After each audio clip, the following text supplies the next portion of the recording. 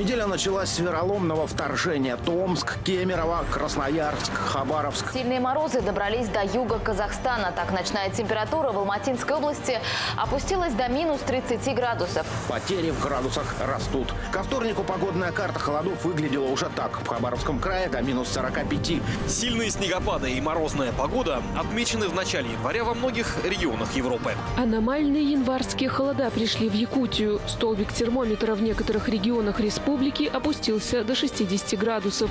Двое человек замерзли насмерть после поломки автомобиля. Замерзших людях можно оживить, это вообще считает бред, понимаете? Это в этом даже не думаю. Как это так может замерзших людей? А мы сейчас доказываем, замерзших людей можно оживить. Притом, если человек замерзнет 30 градусов, вот 30 градусов не оживишь. 40 и ниже градусов оживишь. Замерзших органов все можно оживить. Все органы. Все дело в том, оживить надо мозг, головной мозг и спинной мозг. Вот это надо оживить. Вся проблема в этом. У нас группа есть ребят, которые группа там, сельскохозяйственная академия там, и там мы э, делаем эксперименты на свиней, свиней замораживаем и размораживаем.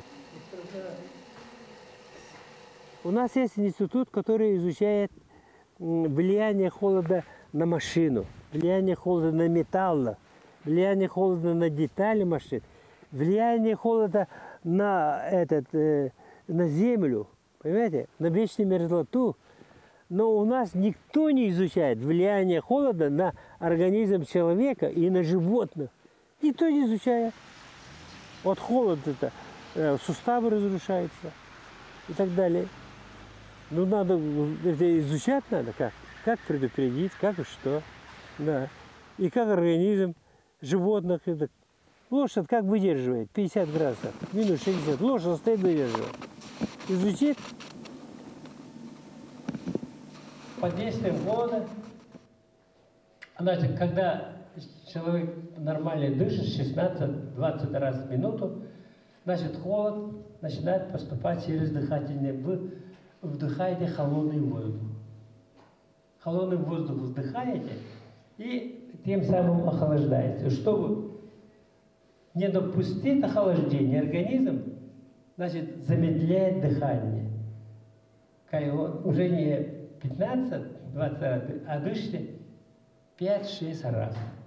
Ну, тем самым вы нарушаете поступление кислорода, а раз кислорода нет, значит, обмен аэробный переходит анаэробный обмен, и охлаждение продолжается. Кирилл Захаровичем я знаком с 1979 года. Я его ученик, студент, и я как раз занимался в научном студенческом кружке Юрия Захаровича. И благодаря ему я стал травматологом, я избрал эту специальность и стал ученым. И мы как раз уже, вначале это был мой учитель, потом коллега, сейчас уже друзья. Мы проводим э, совместное исследование, научное исследование. Рио Захарович э, – это ученый мирового уровня, он признан и в России, и в советское время был признан. И его работа знает в других странах, в Соединенных Штатах, Швеции, в Норвегии. Много раз докладывали на всероссийских, всесоюзных конференциях э, и за рубежом. Его э, научная деятельность посвящена изучению э, холодовой травмы. Так как мы живем в самом холодном, ну, обитаемом регионе мира, да, наиболее часто вот, тяжелая холодовая травма встречается именно в нашей республике. Например, и поэтому мы имеем очень большой опыт лечения этих э, вот этих э, поражений. И как раз Рива Захарович ну, со своими учениками имеет самый большой в мире материал по изучению холодовой травмы. К сожалению, погибает очень много людей от холодовой травмы. А так как Россия самая холодная страна, то понятно, что в России больше всех погибает а в России именно в Якутии, ну, почти 90%, которые замерзают людей, да, они замерзают в нашей республике. И мы пытаемся найти методы, которые должны помочь ну, спасти этих людей. А здесь очень есть сложные моменты этические. Э, ну, так вот, если э, часть вот больных, они замерзают, да, они считаются погибшими, да, и сразу направляются в морг. Но на самом деле часть больных, вот замерзших больных, они еще не погибли, они живые. Но у них нет внешних признаков жизни, да, поэтому считают, что они погибли. На самом деле какое-то время эти люди находятся в клинической смерти, то есть а, это обратимое, ну, обратимое состояние, этих людей можно вернуть, ну, можно восстановить. Сначала я лечил э, замерзшие руки и ноги, отмороженные. Э, Искал, 25 лет искал, как найти способ, чтобы они не замер... э, они не, не, не этот, не, гангрена не образовалась, да. Ну вот. мгм. Через 25 лет, наверное, я нашел способ, ну, можем теперь оживить. Замерзшие, отмороженные руки можем вылечить, что без ампутации. Да, этот получил патент и так далее, внедрили. Но, к сожалению, в больницах не применяют, потому что Минздрав на этот метод лечения деньги не выделяет.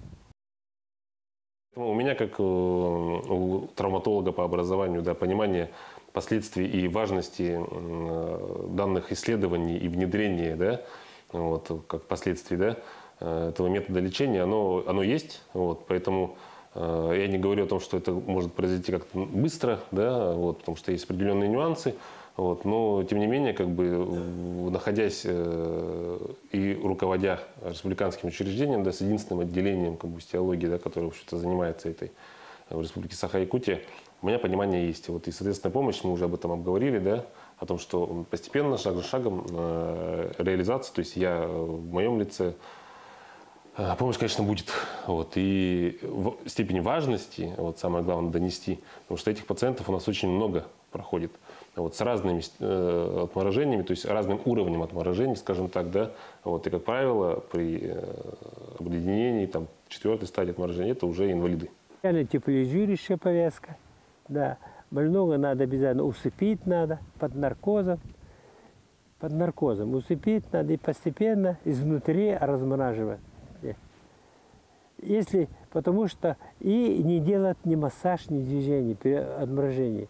Потому что они хрупкие. Если вы замерзшие, отмороженные кисть, пальцы вы разогнете или согнете, вы внутренние сосуды капилляры и все разрушили. Понимаете? Вот поэтому э, нужно вот очень бережно надо относиться надо. Да. Мы во время Советского Союза до появления России и АМС лечили так. Много больных. Ну, я зачитал докторскую диссертацию, все это были. Ну, а потом сказали, не надо, не лечить это. Потому что Минздрав на эти деньги не выделяет. Вот все. Мы все понимаем о том, что э, за медициной и за тем качеством оказания медицинской помощи пристально следит и Росздравнадзор, и территориальный фонд, и страховые медицинские организации, органы прокуратуры, следственные органы и так далее. Да? И, конечно, они отсылаются прежде всего к тем документам, которые утверждены, которые подписаны, да, то есть э, от чего мы как бы отталкиваемся. Да? Вот. В данной ситуации такого как бы документа нет. Вот. И э, понимая даже, что это лечение оправданное, что оно помогает пациентам, ну, все люди разные, да, э, и при наличии какой-то жалобы или несогласия пациентов, или каких-то там осложнениях, да, мы попадаем в очень такую сложную юридическую ситуацию, когда, в общем-то, из благих намерений становимся вино- виновными людьми, да, и это будет именно тот камень, э, который всю, всю эту работу остановит. Поэтому для того, чтобы начать, вот, прежде всего нужно юридически к этому очень грамотно подойти.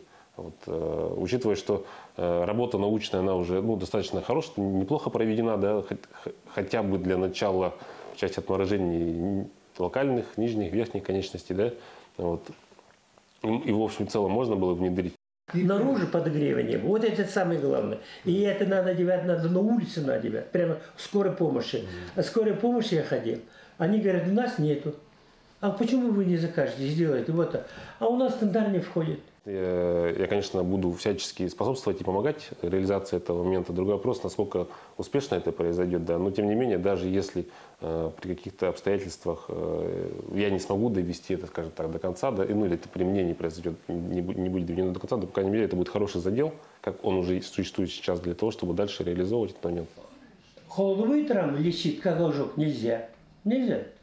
Поэтому он стандартно нельзя. Ст- стан- Стандартизировать лечение ни в коем случае нельзя. Это со мной согласны военно-медицинская академия, да? Имени Кирова. Они, они были против. Благодаря их стандарт не прошел у нас. И только из-за этого. Потому что другое дело, ожог. Ожог получил стакан воды, тебя вылили в Якутске или в Москве. Одинаково. Одинаково же получим. Вот и стандарт делай. Да, или инфаркт. В Москве или тут у нас. Да, другое дело.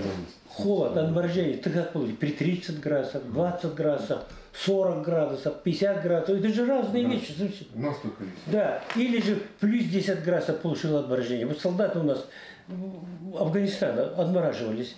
Плюс 10 градусов. Да. Погибали, В погибали. ботинках были, вот там ходили, вот, и отмораж- Это другое отморожение.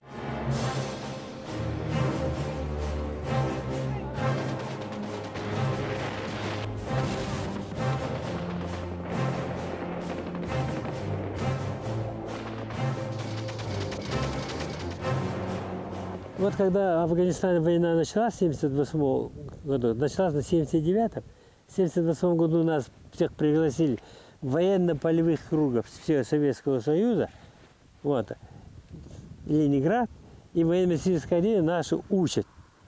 Вот начинается война, ну вот, применяются такие-то оружия, такие винтовки, 4,56, АК-16 немецкий, э, этот американский автомат, вы должны все это действие изучить. Вот месяц учат, потом всех собирают 10 дней Афганистан, Кандагар. Вот раненых мы там оперируем, смотрим, 10 дней, и все обратно. И никуда не идет, не в гражданской, переодевает в этот, э, военные одежды, гражд- не гражданской, самолетом все 100 человек. И так вот в течение 5 лет подряд.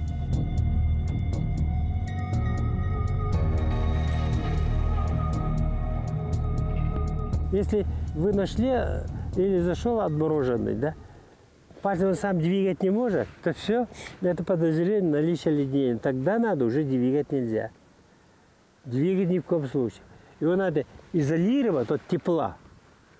Как бы изолировать так, чтобы тепло сюда не подействовало. Представляете, если тепло подействует, начнет оттаивать. И эта клетка от недостатка крови, кислорода, они погибнут. Понимаете? Задушили.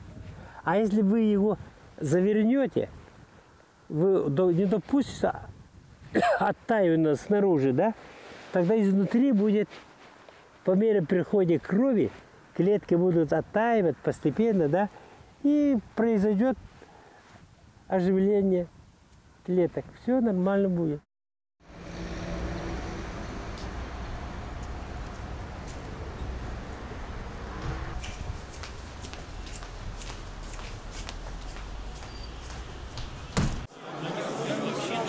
Мне сказали, что там курящий мужик.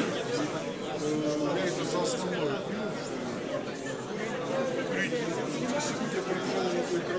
Те способы лечения, которые в настоящее время у нас из- изобретены в России и в мире, ОМС не платит. Поэтому отделение, когда поступают, они, они не имеют права лечить. Если ждут, когда будет некроз. Когда сделают ампутацию рук, ног, Минздрав платит деньги.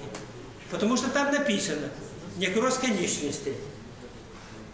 Вот поэтому необходимо поставить вопрос о дополнительном финансировании по линии для лечения больных отморожением и заледнением тканей. содержательный доклад. Терива Захарович в очередной раз, поскольку это тема его многочисленных исследований, э, он, по сути, посвятил э, этой работе всю жизнь, и он очередной раз сделал очень интересный доклад, который э, подытожил некоторые вопросы его работы и дал нам всем указания, по сути дела, каким образом грамотно, правильно, своевременно и качественно лечить таких пациентов. То есть оказывать помощь именно так, тем и там, где это нужно, чтобы пациенты не погибали, чтобы пациенты получали травму, ну, как бы минимальную в целом для организма и для конечностей в целых, в целом, и чтобы инвалидность, которая всегда сопутствует этим повреждениям, она стала минимальной, чтобы позволила человеку сохранить там где-то, может быть, работу, э, может быть, какие-то еще функции, да, то есть э, э, сохранить качество его жизни, которые были до этой травмы. Рио Захарович человек всесторонне одаренный, да, и очень интересный. Он очень эрудирован, энциклопедически эрудирован. Он знает не только травматологию, очень много знает про традиционную медицину, про народную медицину. И всегда вот с ним очень интересно. Он ну, на любые вопросы может ответить, у него есть свое видение. И он человек очень нестандартно мыслящий, поэтому с ним всегда, ну, с, с одной стороны тяжело, потому что, ну, он говорит очень сложные вещи иногда, иногда вещи такие, ну, запредельные, ну, и как-то вначале тяжело, ну, непонятно, но потом, когда начинаешь понимать, что это, наоборот, он говорит очень интересные, очень э, такие нужные, э, и а как человек, ну, он, я знаю, что в молодости он был хорошим спортсменом, боролся, у него результаты были. Потом он а, охотник, рыбак, очень любит природу. У него много друзей, вот он ездит на рыбалку, на охоту. Машина должна быть удобная для поездки, да. Я же езжу рыбачусь, охочусь далеко, вверх не влюсь. Чурапча, Амга. Приходится туда ездить на сутки. Сегодня поехал, завтра приехал. Ночью порвачил и приехал. Вот мы подъехали в Лагина Кильдянце. Вот, вот сейчас отсюда переоденусь и пойдем туда, в речку. В своей рабочей форме вот так приезжаю, тут переоделся тут, сейчас переоденемся и пошел рыбачить тут рядом. Вот это речка. И всегда так. Быстро после работы раз, часа два порвачил и уехал. Опять переоделся, опять в рабочей форме.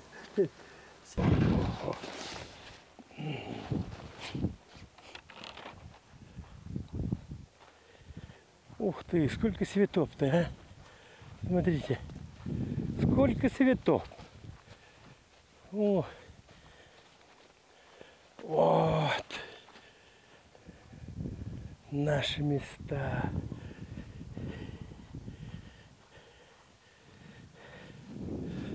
О.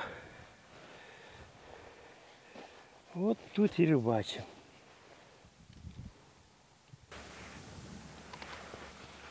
Галилея Горвей есть такой. В 1826 году открыл круг большого кровообращения, да?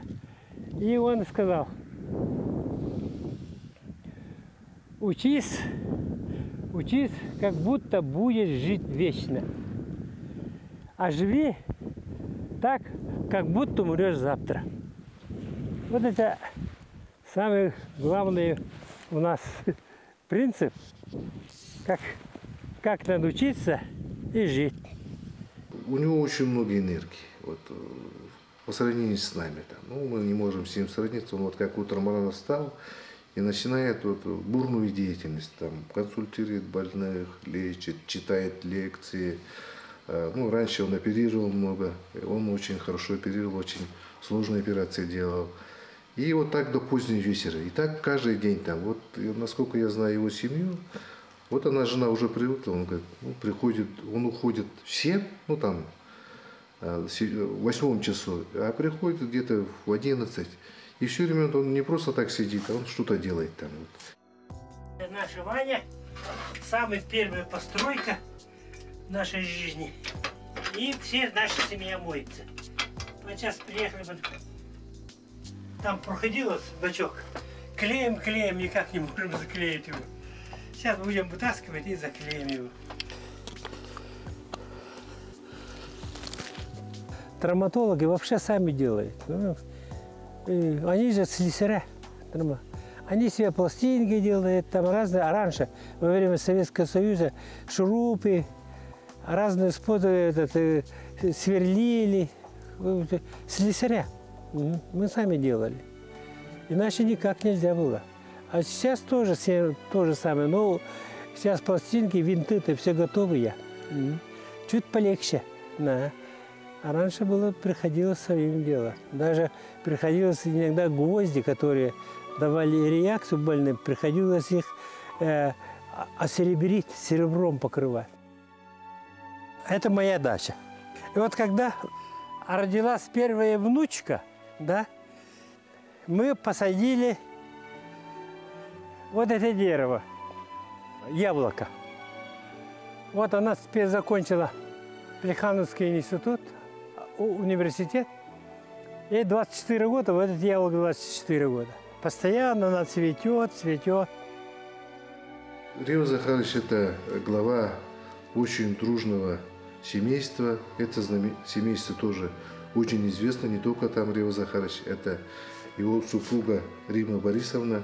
Она врач, психиатр, специалист очень высокого уровня. Она москвичка, родом из Москвы. У них очень хорошие дети. И дети тоже врачи. А Дочка Наталья Григорьевна, это очень большой специалист, она акушер-гинеколог, и она, значит, является э, руководителем э, женской консультации да, в Национальном центре медицины. Сын э, Юрий Левович, он как раз пошел по стопам отца, он травматолог, работает в отделении вот, термические травмы и очень тоже проводит э, совместные исследования в области холод- холодовой травмы. Он является уже автором э, очень такой интересной разработки, он имеет патент. Вот Юрий Левович, он выполняет научную работу, то есть э, пишет диссертацию. Время иногда не хватает, потому что вот текучка заедает. Надо для лекций готовиться надо, нам семинарам готовиться надо. Все равно готовиться надо. Хотя, хотя лекции я читаю там 50 лет одной и той же лекции читаю, но все равно каждый раз идешь лекции читать, ты ее готовишься, его обновляешь, новым ракурсом, новые презентации делаешь. Да это все равно время берет. Да. Ну и научная работа много времени занимает. Да. Там обследование проводить и так далее, там под микроскопом сидеть там. И потом все это, э, э, результат, все это, в общем, много. Но это надо, иначе как? Иначе статью не напишешь. Рио Захарич э, придумал очень эффективный метод лечения тяжелой холодовой травмы, который имеет очень хорошие результаты. Практически полностью восстанавливаются оледеневшие ткани. Таких результатов больше никто не имеет. Мы докладывали эти работы э, ну, в нас стране, Швеции, Норвегии по приглашению президента, э, президента Всемирного союза по приполярному здоровью Джона Онтонта. Я докладывал э, ре- результаты этих работ на большой международной конференции в городе Тромсе в Арктическом университете. И эти, ну, там участвовали специалисты из Англии, Германии, ну, всех э, северных стран, Соединенных Штатов. И результаты очень удивили. И мы сейчас совместно с норвежскими коллегами э, проводим совместные исследования с учеными э, Якутской государственной сельхозакадемии, Северо-Восточного федерального университета и э, со специалистами практического здравоохранения э, пытаемся вот восстановить замерзших животных. Трудно. Сейчас, не знаю, в связи с освоением Арктики, может быть, что-нибудь будет. Но работаем. Сейчас будем работать еще. Кого-нибудь замерзших оживим.